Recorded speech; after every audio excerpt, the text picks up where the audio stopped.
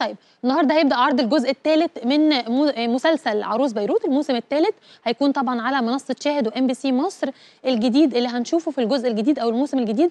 نعرفه من بطلة المسلسل النجمة النجمة اللبنانية كارمن بصيبص. أهلا كارمن. Hi. مبروك Hi. مقدما على المسلسل على الموسم الجديد. شكرا. ميرسي كثير ميرسي. أنا متحمسة إنه اليوم رح يكون عرض الأول أول حلقة من الجزء الثالث لعروس بيروت. وإن شاء الله هيك الناس تكون ناطرة ويكون تكون أول حلقة فاتحة هيك منيحة للحلقات اللي جاية. إن شاء الله الحماس باين من صوتك وكلنا متحمسين نشوف الحلقة الجديدة أو أول حلقة النهارده من الموسم الثالث. ولكن خليني أسألك إيه المختلف بقى في الموسم ده عن اللي قبل كده؟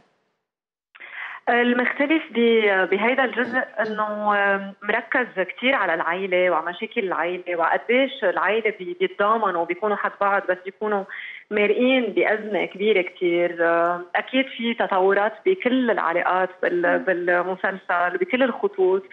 وأكيد من من ناحية دور سوريا إن كان مع فارس أو مع ست ليلى في تطورات وأحداث كثير عم بتصير بهذا الجزء بعتقد إنه الناس رح ينبسطوا بهذا الجزء. هيكون كام حلقة الموسم ده؟ آه، مفروض حوالي ال 45 لل 50 حلقة. خلصتوا تصوير ولا لسه بتصوروا؟ أنا بالتصوير دلوقتي دلوقتي؟ خدناكي منه. على المشهد قلت لهم اعطوني ثلاث دقائق بس ل أعمل آه، هيدا الانترفيو وراجعه فاتة على المشهد. إيه قولي لي طيب سريعا قبل ما أسيبك للتصوير ده الموسم الثالث ولكن كلنا بنكون متحمسين كمان لمواسم جاية. في موسم رابع ولا لسه ما قررتوش؟ آه لا هلأ آه، ما في هيدا الموسم الثالث والأخير ومفروض يكون عن جد من أحلى الأجزاء وهيك الختام تبع عروس بيروت رح يكون مثل ما لازم. في مشهد معين أو حلقة معينة بتقولي للناس استنوها واتفرجوا عليها فيها مشاهد عالية جدا أو فيها شغل عالي جدا اللي في يقولوا اللي في يقولوا ما. تقفوا ولا حلقة مم. وكل حلقة بعد حلقة رح تكون أحلى واللي جاية آه عن جد يعني في تطورات كل حلقة عم تكون أحلى من اللي قبلها فما تقفوا شيء إحنا واثقين من ده وبتمنى لك كل التوفيق وهسيبك ترجعي للتصوير ومبروك على الموسم الثالث شكراً. بيروت نورتينا.